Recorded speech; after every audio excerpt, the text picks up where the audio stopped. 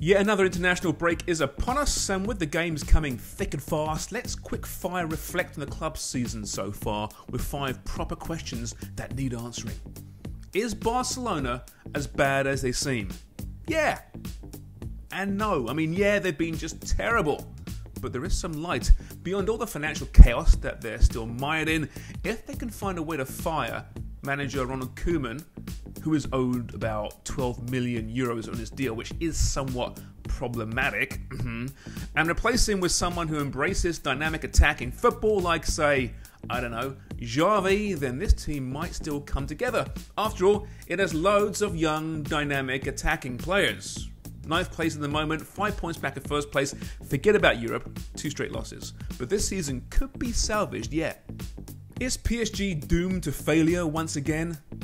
No, no. Did you see them beat Man City last week? And yeah, I know they lost on the weekend, but still, that means nothing. In the table, they're six points clear with eight wins out of nine so far. Leo Messi just scored his first for the club, and let's face it, even when you have a front three of Messi, Mbappe, and Neymar, they do still have time to bed in together. It won't happen straight away, but it will eventually. And even if Mauricio Pochettino doesn't like it, he will find a way to accommodate his three completely one dimensional, i.e., lazy players into this 11 because the other eight players are not lazy and they're all pretty good as well. Don't worry, PSG fans.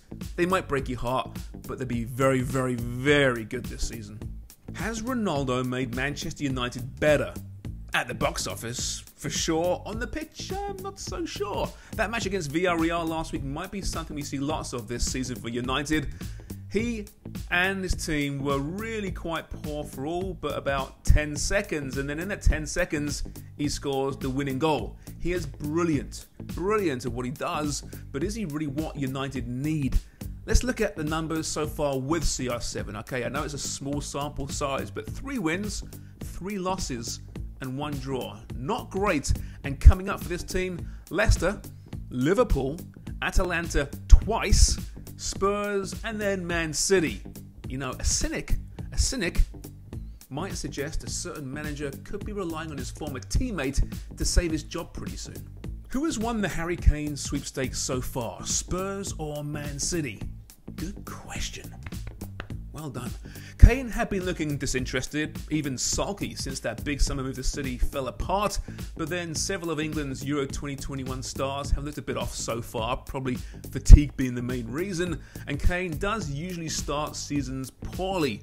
But then he scores a hat trick last week admittedly in that whole UEFA I don't want to be there cup, and then looks lively in a big win over Aston Villa on the weekend. City, meanwhile, have looked incredible for most of the season, but when they don't, then questions are asked.